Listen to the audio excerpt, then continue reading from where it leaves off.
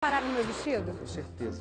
Tenho certeza que repararam. Será? Olha só, eu tô com o vestido mais comentado do mundo nos últimos dias. Famoso vestido preto e azul que muita gente viu branco e dourado. Inclusive eu, que Você desde cedo recebi a foto, pra mim ele era branco e dourado. Eu vi preto e azul desde o primeiro momento, Poliana. O Fantástico comprou o vestido em Londres e pra conseguir não foi fácil.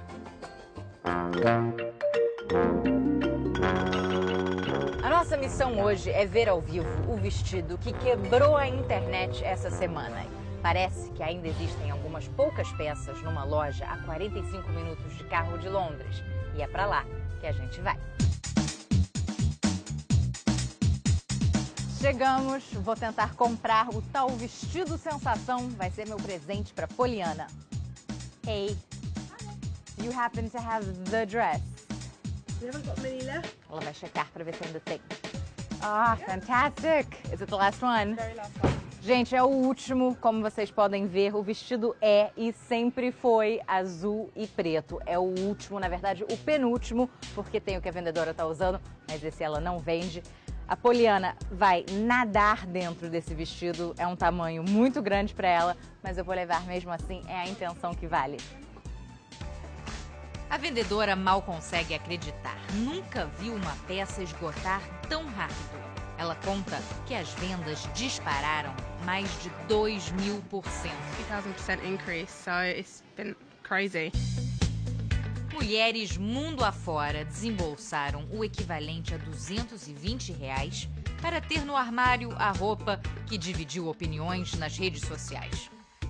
Diante de tamanho sucesso, a loja vai passar a vender a versão branco e dourado, mas só daqui a seis meses.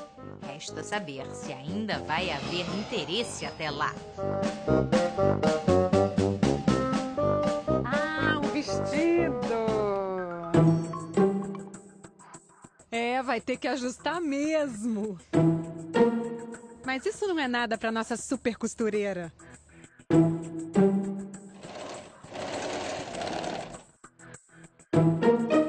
Agora sim, hein? Mas esse vestido só fica mágico, vocês sabem, quando a gente tira foto dele. Aí é que algumas pessoas, em vez de enxergar preto com azul, enxergam branco com dourado. Isso é que é fascinante. É a mesma foto, as pessoas estão vendo a mesma imagem e umas vêm preto e azul, outras vêm branco e dourado. Lá em casa foi metade, metade. Na minha também. Vamos entender por quê? Vamos. Não importa a cor do vestido.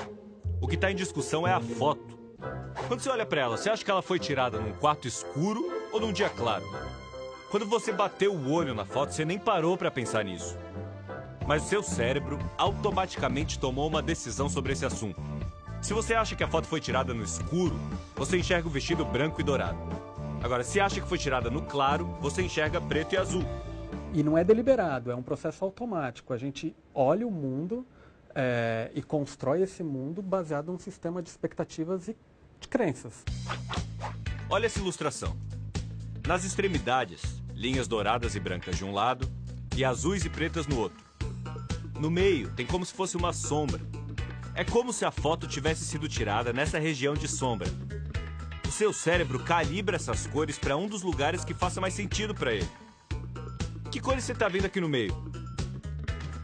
Branco e dourado na sombra ou um azul e preto iluminado? E além disso, você pegar apenas algumas partes dessa foto, vai perceber que a parte de cima é mais branca e dourada.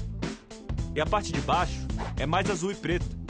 Agora, como nosso cérebro reconhece que isso é um vestido só, ele toma uma decisão e nos faz enxergar o vestido todo a partir dessa decisão que ele tomou.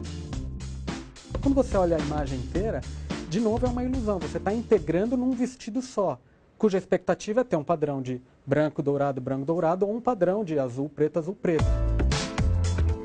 Está certo quem enxerga qualquer uma das cores na foto. Depende do jeito que você olha o mundo.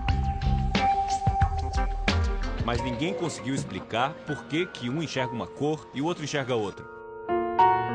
Nós somos diferentes e pronto.